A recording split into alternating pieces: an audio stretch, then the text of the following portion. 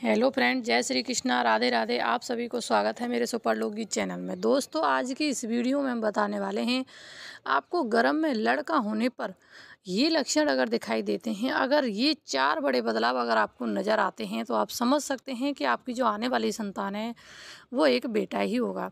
दोस्तों, ये जो लक्षण है, काफ़ी हद तक सही साबित भी होते हैं और ये लक्षण हमारी बूढ़ी बुज़ुर्ग जो महिलाएँ, वो बताया करती हैं दोस्तों, ये लड़का होने पर अक्सर दिखाई देते हैं, लेकिन कुछ महिलाएँ इसके बारे में नहीं जान पाती हैं। तो आइए दोस्तों, जान लेते हैं पहले लक्षण के बारे में, लेकिन चैनल पर पहली बार है, चैनल को सब्सक्राइब करें, साइड में ऑल को प्रेस करें।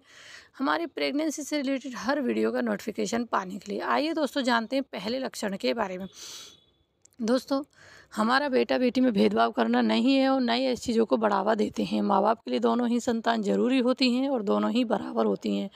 तो दोस्तों, हमारी वीडियो को सिर्फ़ और सिर्फ़ जिज्ञासा और उत्सुकता के तौर पर ही देखा करें।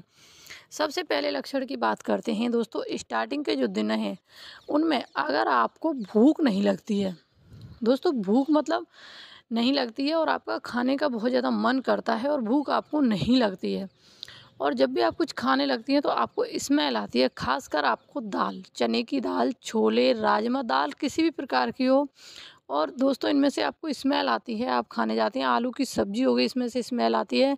तो दोस्तों, मेरा कहने का मतलब है कि जो सब्ज़ियाँ होती हैं, वो आपको बिल्कुल भी अच्छी नहीं लगती। साथ दोस्त, साथ ही दोस्तों, आपको रोटी जो होती है, उनमें से आपको बदबू आती है। तो ये लड़का होने का ही लक्षण माना जाता है। दूसरे लक्षण की बात करते हैं दोस्तों, दूसरा लक्षण है नाभि बटन। अगर आपकी जो नाभि बटन है, आपको पाँचवें महीने से अगर आपकी नाभि बटन बाहर की साइड निकली हुई है और उस पर कुछ मैल सा जमा हुआ दिखता है तो दोस्तों ये सबसे बड़ी निशानी होती है बेटा होने की।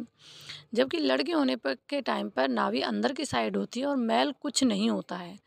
दोस्तों, अगले लक्षण की बात करते हैं। अगला जो लक्षण है, हमारा बहुत ही सटीक है। अगर आपके अनचाए बाल बहुत ज़्यादा आ रहे हैं, जैसे पैरों पे आ गए, आपके पैर पिडलियाँ होती हैं, उन पर बहुत ज़्यादा आ जाते हैं। आपकी उंगलियाँ होती हैं पैरों की, उन पर लंबे लंबे बार आपको दिखने लग जाते हैं, या फिर आपके चेहरे पर रुएँ से नज़र आने लगते हैं।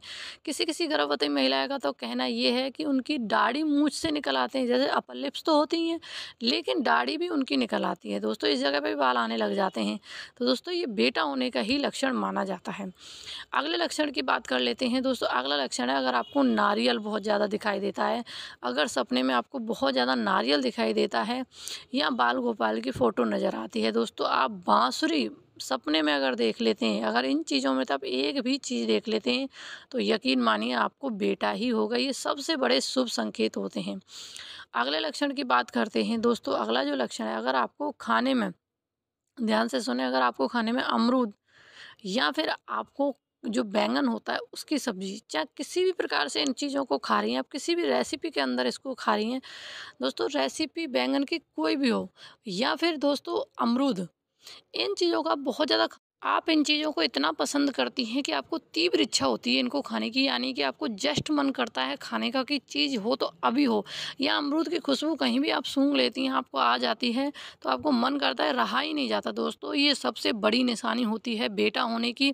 और बैंगन दोस्तों, आप अगर दो दिना तक भी बुड़ता बनाती हैं, सब्ज़ी बनाती हैं, उसको खाती हैं, आपका इतने मन इच्छा होती है खाने की और आपको पहले प्रेगनेंसी से बिल्कुल भी अच्छा नहीं लगता था। दोस्तों, ये लक्षण बिल्कुल सही साबित होते हैं और ये बेटा बेटा होने पर ही दिखाई देते हैं।